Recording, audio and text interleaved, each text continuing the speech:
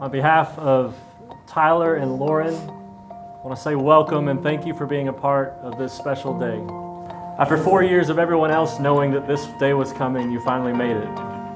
We're excited, all of us are excited and honored to be a part of this special day in your lives.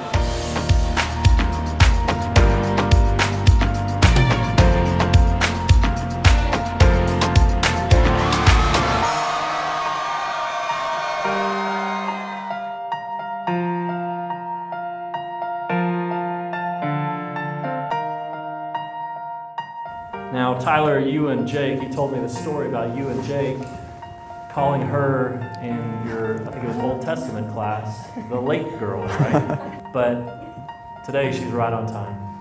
This is your special someone, the one that you've been waiting for.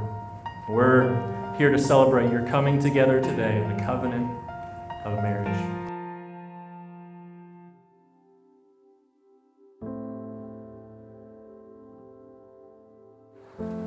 Lauren and Tyler, today is a very exciting day. Lauren, as everyone knew and expected, you're a beautiful, radiant bride. After four years of everyone else knowing that this day was coming, you finally made it.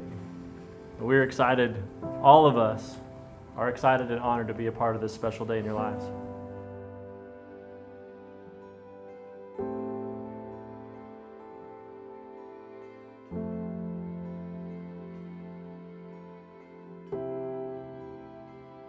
Covenant marriage also displays a commitment of love. Not just love, but committed love. A lot of people fall in love, but they don't have committed love. We celebrate that today. Covenant marriage reflects that commitment of love, that you're committed to her, and that she's committed to you for the rest of your lives. You have to have the attitude that nothing will come between you no matter what. Nothing will come between you. You're committed to stay together. You're committed to love each other. You're committed to grow in your love, and you're committed to have a great marriage. This is your special someone, the one that you've been waiting for, and God provided what you were waiting for. We're here to celebrate your coming together today in the covenant of marriage. And Tyler, took you, Lauren, to be my wife, my constant friend, my love from this day forward. In the presence of God, our family, and our friends, I offer you my solemn vow to be your faithful partner in sickness and in health, in good times and in bad.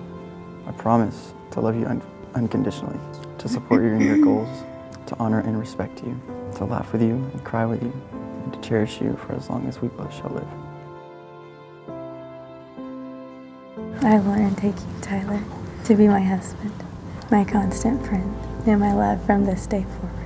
In the presence of God, our family, and friends, I offer you my solemn vow to be your faithful partner in sickness and in health, in good times and in bad. I promise to love you unconditionally, to support you in your goals, to honor you and respect you, to laugh with you and cry with you, and to cherish you for as long as we both shall live.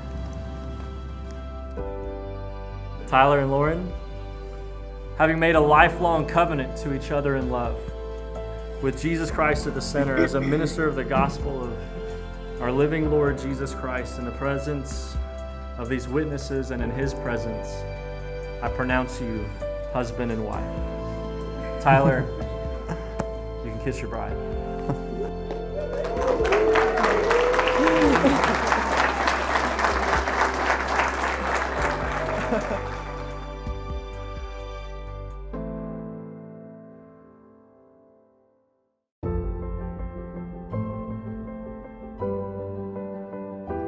And uh, Lauren,